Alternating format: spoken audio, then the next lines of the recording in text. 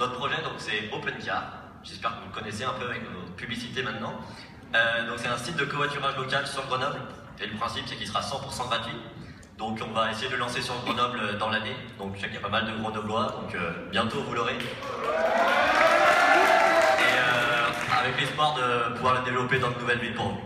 Et ça consiste en quoi?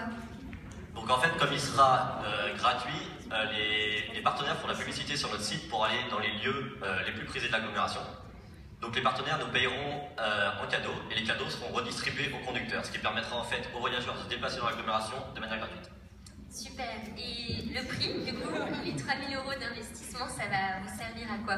On est justement en train de construire le site, donc c'est exactement ce qu'il nous fallait pour, bah, pour le créer. Donc c'est parti, maintenant on se lance et Super. Donc bientôt, on peut voyager gratuitement à Grenoble.